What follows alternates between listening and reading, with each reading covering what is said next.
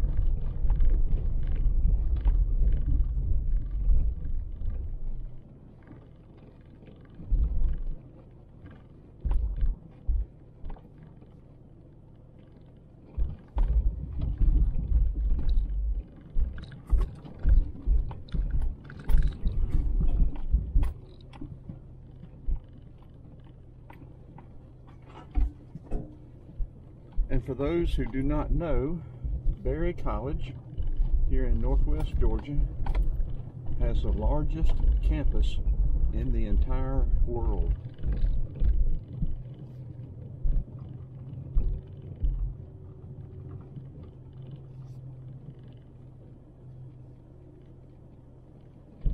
We're coming up on Sandtown Mountain. We'll turn left and head west. This will be a short video.